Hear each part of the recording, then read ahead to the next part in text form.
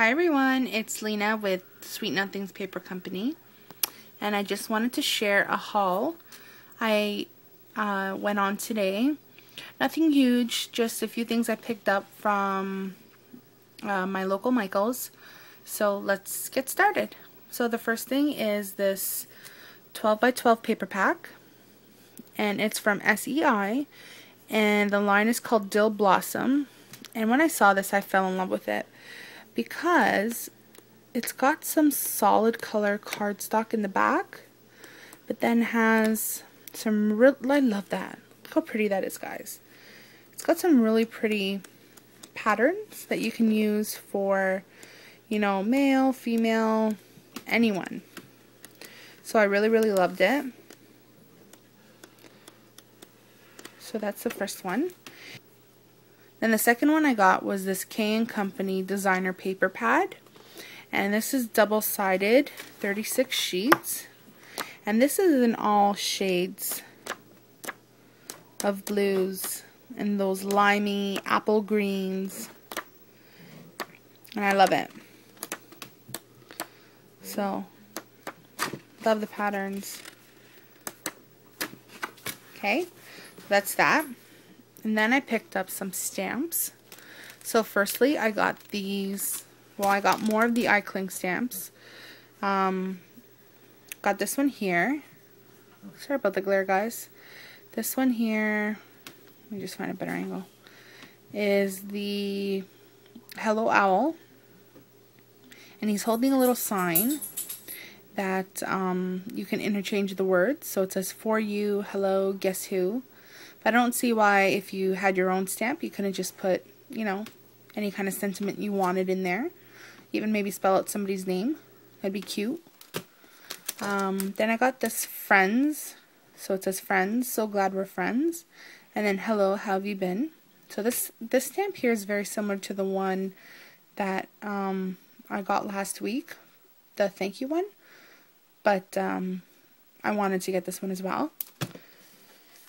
And then the third one I got was this um, Curly Q collage, which I thought was cute as a background stamp.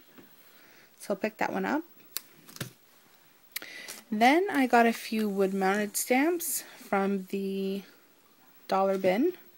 So this one here is a little pennant stamp, just super, super cute. Um, it's a small, it's a pretty small stamp, as you can tell from the back. But um, it'll work for anything. You know, a card for, you know, birthday, you know, any type of celebration, male, female, you know, whatever. It's just, this is going to be a very versatile stamp in your, in my arsenal, I guess, and for any of you that have this same stamp or, you know, similar stamp. Then I got this thank you. So you can never have enough thank yous um, in your stash. Then I got this cupcake stamp. Now when I first saw it, I, didn't, I wasn't crazy about it because I think it was the colors on the front that threw me off. But if you turn the stamp around, you can see that it actually is pretty cute. So I can't wait to play with those. And then lastly, I got this polka dot stamp, which I thought was super cute. Never seen one this small. And then I got two more of these um, Moroccan frames. And I found the oval one. I wasn't able to find the oval one in my other Michaels last week, but they had the oval one here. They only had one, so I, I, I got it anyway. And another square one. So now I have all three shapes, the square, the oval, and the circle. Then I picked up this Studio G um, little ink pad. Um, I don't have a brown ink pad, believe it or not. I have every other color under the sun in different shades, um, but I don't have a brown. So I remembered on my way out, and then I saw this at the register, and just decided to pick it up instead of going back in and, you know, having to wait through the line again.